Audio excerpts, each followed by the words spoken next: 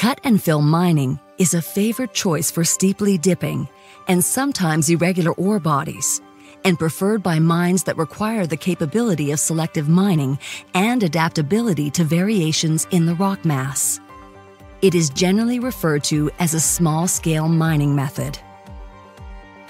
Mining is carried out in horizontal slices along the ore body, where the bottom slice is mined first.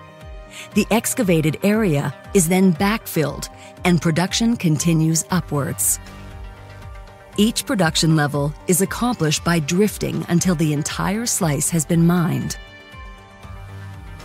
The slice is then backfilled and the fill becomes the working platform from which the next level is mined.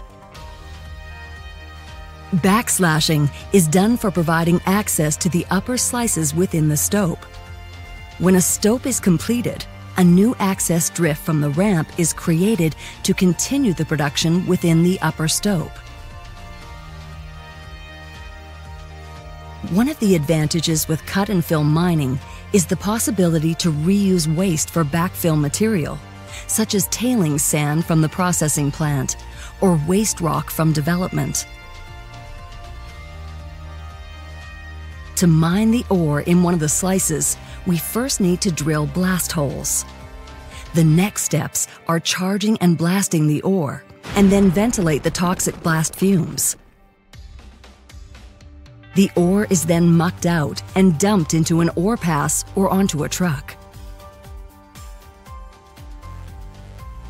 Before continuing with the next round, the rock needs to be reinforced.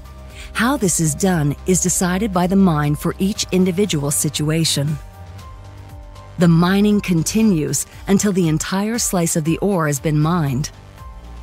Since the mining can be tailored to suit the shape of the ore body, it is possible to minimize dilution of waste rock.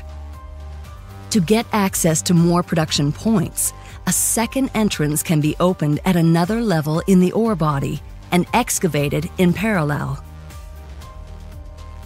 The equipment used for mining the ore is usually the same as what is used for development. As the ore body is mined, the rock stresses increase in the pillar above the mined area.